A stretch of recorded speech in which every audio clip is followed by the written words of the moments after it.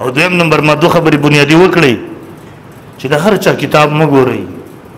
په دې فیسبوک چې درته مولا راشي کنه دا مولا راشي خپل علماو نه تصدیق وکول بیا د ویل کړه قران ترجمه او تفسیر کوي د ما ورا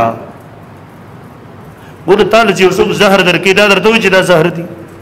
خدا به درته په ګوړه کې ملاوي شربت کې به ملاوي شادو کې به ملاوي ترکاری کې به ملاوي ګوره 15 روپو زهر د پاره د 15000 خرچو کې سيزونه جوړ کی خسته کې به استامخي ته کې دی دا وخت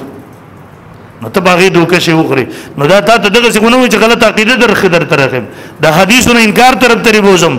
د فقه نه د انکار طرف ته بوزم د امام اعظم ابو حنیفه دغه نه د انکار طرف ته بوزم تا ته وینه قران درخم قران نه درخې قران نه انکار درخې احادیث درته وي درخه ما حدیث قسم دې نه درخه د حدیثو انکار درته درخه مسلمان ډور ویښ شه بیدار سسترګي ګلاو کا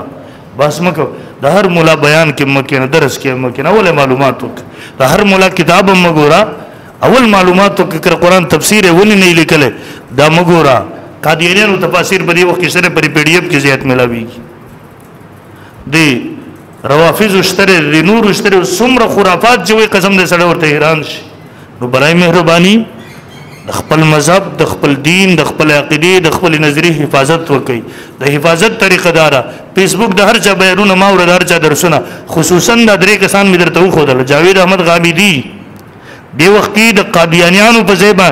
قادیانی چې کوم نقصان خورو قد انګريزانو د کوم مشن د پاره راوسته او د هغه مشن د پاره جاوید احمد غامدی راوسته نه اوس عقاید سری وتاو سوزه به بیان کوم ان شاء الله هغه دین نه پیش کې خپل خواهشات پیش کړي دویم نمبر انجنیر علی مرزا په نوم باندې کومه فتنه را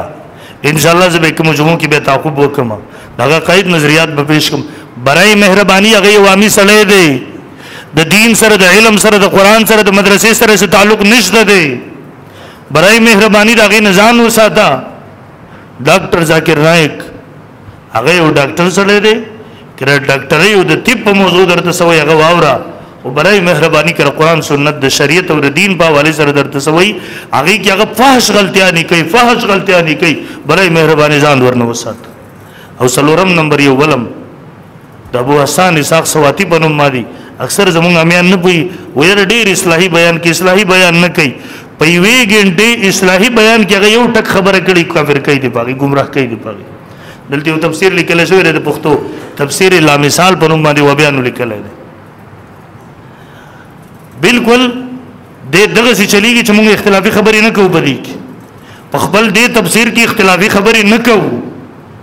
لیکن ته چې لاړ شي د الله په صفاتو په حواله سره هغه چې کوم عقیده اختیار کړي د الله لپاره جسم ثابتې دره مجسمه او عقیده کافر کیږي په سره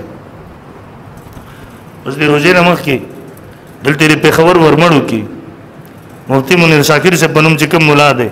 دغه یو کلیپ چاره وخیجو ناغه خپل مدرسې تعارف کو وای زمونږ د مدرسه پر پر قواریت نه پاک وی پاک دې کې په فرقه واریت نه ما د ټولو نه لوی فرقه هم دغه رشد دی لګیا دی او غدر ته تشدد درخی اگر ته دلایل هم نه درخی اثر جره دلایل خبره شروع کی یا بدر ته کنزل شروع کی یا بل د جنگ جګړې فساد والا خبره شروع کی ورمړو کې معلوماتو کې اوس په کلانجه جوړي یو بل پسې چا په مدرسه پسې ګاډي ډک ورولېږي چا پسې ورولېږي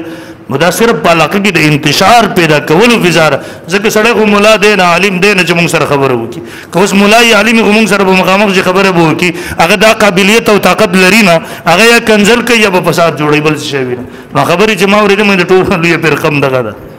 یو سړی چې جماعت نه کټ کیږي په دې وخت کې لوی فرقه دغه راته ته فرقه مې خنشت برای مهرباني خپل دین عقیده نظری مذهب دغه تحفظ وکي الله دې موږ ټول فتنو نه محفوظ